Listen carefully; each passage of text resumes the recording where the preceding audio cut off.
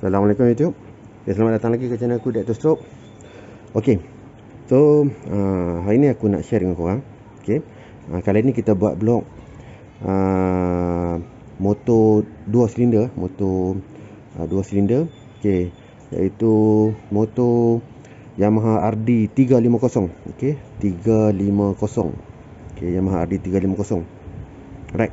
So kalau korang nampak ni ada 4 Ok 4 biji blok Ok untuk uh, dua biji motor lah. Ok dua biji motor empat biji blok satu head.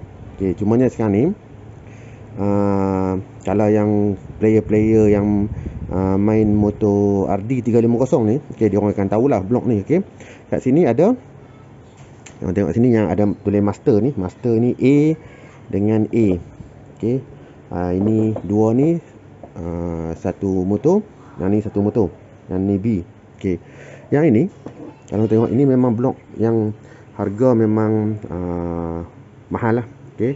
uh, tengok dia punya blok uh, 1UA blok 1UA ni harga dia di pasaran uh, lebih daripada 5000 lah. 5000 ke atas. Okay, dalam 7 7 ke 8000 dia punya harga dia untuk sepasang. Dua biji blok dia untuk 1UA ni harga dia dalam 7000 lebih. Okay, 7000 ke 8000 macam tu lah. Dan boleh cecah sampai 10 lah tengok pada condition dia. Okay, yang ni pula Yang dua biji ni adalah blok 31K Okay, yang ni uh, blok 31K Okay, uh, dia murah sikit daripada 1UA uh, Yang 31K ni Harga dia dalam lingkungan uh, 4-5 ribu lah. Okay, dia bawah pada ni Dia dalam 4-5 ribu. Okay, so uh, Spek dia, dua-dua ni memang berbeza. Spek yang ni, ini kira kalau dalam uh, RD350 ni 1UA ni adalah yang paling high spec paling high spec sekali yang paling power lah kira yang paling power. Ok yang ini ni bawah dari yang ni lah. Ok so uh, apa yang owner dia nak aku buat ok apa yang owner dia nak aku buat sekarang ni dan apa yang aku akan buat untuk uh, blog ni ok 1UA ni ok 1UA dengan yang ini ok yang ini dia dah ada porting sikit. Okey, ha, tengok sini.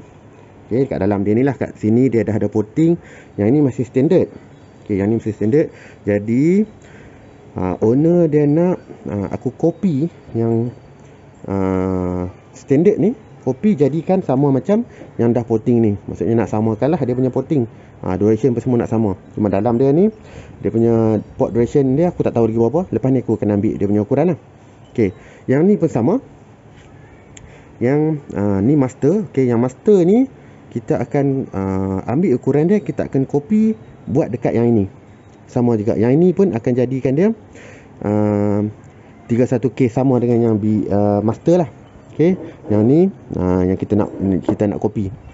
Okey yang ini size piston dia 64.50 okey yang ni 64 okey jadi nanti uh, bila bila dah siap nanti okey akan ribo lah okey yang ikut saiz yang 64.50 maksudnya yang ini akan ribo follow uh, saiz 64.50 tetapi dia punya porting akan follow yang ini. Untuk yang ni akan follow yang ini yang ni pula dia punya saiz nanti akan pakai 64 masih. Uh, sama lah dua-dua. Okey sebab yang ni pun saiz standard ni pun saiz standard 64 okey uh, so porting dia nanti aku akan akan akan uh, follow lah yang uh, copy daripada daripada uh, yang ni copy buat yang ni. Okey ni pula dia punya head. Okey dia punya head dia bagi satu je untuk aku buat uh, reference ya buat uh, sebagai rujukan saja. Okey head ni nanti aku akan gosok dulu. Gosok dulu satu lapisan. Uh, nak tengok sama ada head ni mas, dah dah melengkung ataupun masih flat lagi. Okey kalau ada flat dah okey lah tak perlu buat apa-apa. Sebab kalau boleh owner dia tak nak usik head nak pakai head standard. Okay, sebab yang ni pun tak nak porting extreme apa cuma nak copy balik right? Okay, dan ini pula dia punya piston. Piston pula dia bagi untuk aku uh, buat rujukan saja. Okay. uh, ni dia punya uh, piston dome uh. piston dome ni nah, maksudnya dari sini lah. Dari ujung ni ke atas ni. Uh, dia punya tinggi dia lah. Tinggi tinggi sini ke atas ni adalah 4 mm okay, piston dome dia. Size adalah 60 um, 4 dah ni. Silap aku 64 yang ni. Okay kita ukur tengok ha, Yang ni 64.25 ah. okay, Yang ni 64.25 punya size. Okey. Right ni piston untuk rujukan. Ini head dia. So okey. So uh, tunggu video next nanti. Aku akan uh, ambil dia punya isi padu head dia tengok. Kita akan check dia punya isi padu head. Dan aku akan ambil uh, mapping untuk ke uh, semua sekali lah. Ke empat-empat ni tengok nanti apa dia punya mapping dia. Right okey. Jangan lupa. Right jangan lupa uh, like subscribe dan share. Terima kasih assalamualaikum